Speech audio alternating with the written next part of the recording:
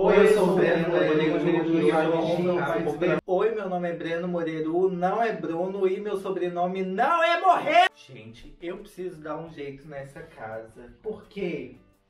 Eu saí do mestrado. Saí do mestrado porque estava tendo mais estresse do que o normal e não era estresse pelos, pelos trabalhos do mestrado, não. Era lidar com o professor, era ter que estudar de casa, era ter que reclamar de nota, era ter que fazer trabalho em grupo. Mestrado tava muito ai ai dor na minha vida. Qual era o jeito mais fácil de sair, mas mantendo o meu visto? Arranjando um emprego. Então agora eu tenho um emprego. A peculiaridade desse emprego é que é o seguinte: se você é uma pessoa recente aqui no canal, vamos de recapitulação. Eu moro na Estônia Estônia atualmente. Eu não tenho passaporte europeu. Eu cheguei aqui fazendo mestrado e esse era o meu visto, mas eu cansei de fazer mestrado porque não estava agregando na minha vida, sabe? Eu estava fazendo mestrado só pelo visto e não pelo mestrado em si, né, filha? Eu tava com muito medo, né, de entrar para esse emprego, por quê? Porque traumas dos empregos passados, que eu morava na Polônia antes de chegar aqui. Nossa, eu queria muito parar de contar essa história, mas é a minha história. Comecei esse emprego em 8 de fevereiro. Como eu tô na rua e não tem ninguém perto, eu posso ficar sem máscara. Mas hoje é um dia muito importante, porque eu vim resolver minhas coisas com a polícia. Mais do que isso, é um dia de libertação, por mais que eu esteja indo pra polícia. Foi nessa época que eu sumi do YouTube, porque eu trabalho em turnos, de manhã, à tarde ou à noite. De manhã é de 7 às 3 da tarde. À tarde é de 3 às 11 da noite. E à noite é de 11 às 7 da manhã. Quando eu entrei no emprego, foram duas semanas de treinamento. Então, essa cabeça aqui não estava dando conta de tudo que estava acontecendo. Terapia ali rolando solta, Dezembro foi um mês muito puxado para mim por causa do mestrado. Enquanto isso era Natal, o YouTube tava pagando muito pouco. O povo não tava assistindo o YouTube. Eu queria desistir de tudo. Eu ia pegar minhas coisas e ia pro Brasil. Mas nem isso eu podia porque eu não tinha dinheiro. Aí eu precisava arranjar um emprego de qualquer jeito, sabe? Que assim, pra ir pro Brasil hoje em dia, primeiro que eu ia ter que largar minhas coisas tudo aqui. Segundo, eu ia ter que pagar mil euros de, de passagem. Mil euros dá mais que seis mil reais. Não tinha esse dinheiro. Agora, eu tenho dois empregos.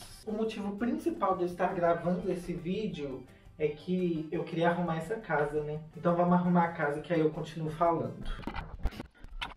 E aí o emprego, assim, só para te dar uma contextualizada breve, é de verificação de documentos. E é um emprego legal, conheço novas pessoas. E, além de tudo, eu ganho dinheiro. Essa é a melhor parte. Porque no mestrado, eu só tava perdendo dinheiro e saúde mental. Por que, que eu larguei o mestrado? Porque eu quero viver de YouTube. Já tem um ano que eu tô nisso, pode parecer pouco para alguns, precipitado, mas assim, sem querer ser grosso, eu não tô pedindo opinião, eu só estou comunicando. Isso quer dizer que minha carinha vai aparecer aqui mais e vai aparecer por mais muito tempo.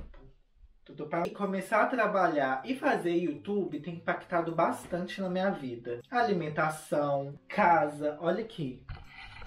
Olha a sujeira disso aqui. No primeiro mês, mais ou menos, fevereiro a março, eu só queria dormir. Eu tava tentando acostumar, né, com os turnos. E é muito puxado. Eu nunca trabalhei à noite. No início de fevereiro, eu tinha finalmente estabelecido minha rotina, que era acordar, fazer um yoguinha, tomar um suquinho verde, igual eu falei lá no vídeo que eu gravei cuidando da minha pele. E aí eu comecei a trabalhar nesses turnos doidos.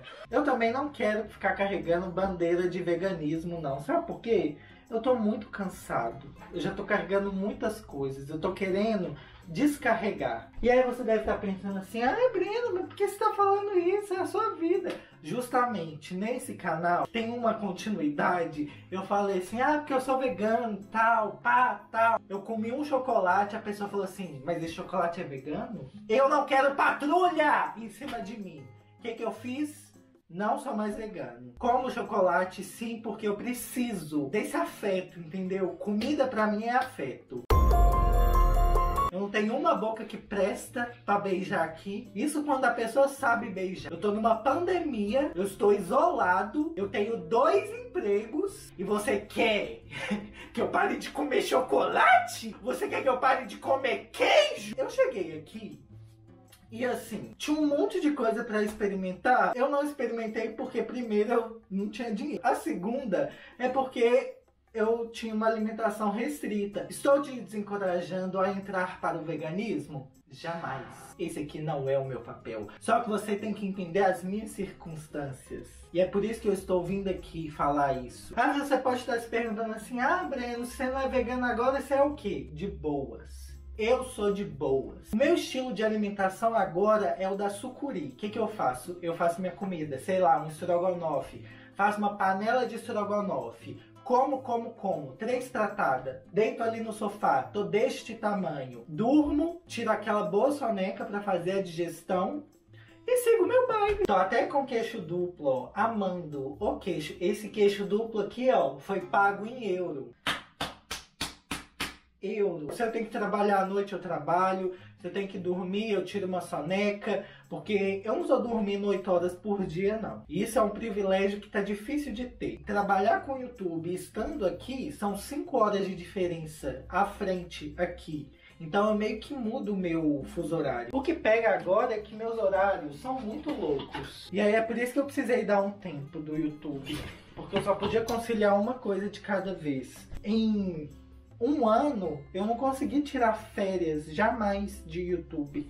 Menos de um ano, né? Porque os vídeos só se tornaram frequentes mesmo a partir de maio ou abril, sei lá. Eu que edito, eu que gravo. Assim, né? Agora não mais, agora eu tenho ajuda, mas no início era eu que editava, eu que gravava, eu que roteirizava, eu que publicava, eu que, sabe, fazia tudo. Como é uma empresa de uma pessoa só, uma banda de um homem só, se eu canso, nada continua sendo feito, entendeu? É o que eu aprendi na terapia. Tô fazendo exercício em casa de novo. Nossa, tá passando uma homem bonita. Eu tô tentando viver com mais autocuidado. Autocuidado não só de ficar passando creme na cara, que também é autocuidado, mas isso não resolve todos os meus problemas de autocuidado. Autocuidado é porque eu só, só funcionava antes na autossabotagem, na autopunição, Talvez esse vídeo esteja ficando íntimo demais. Hoje eu vou arrumar a casa mudando de assunto porque eu não quero falar dessas intimidades. Achei que eu ia conseguir fazer esse vídeo e faxinar a casa ao mesmo tempo.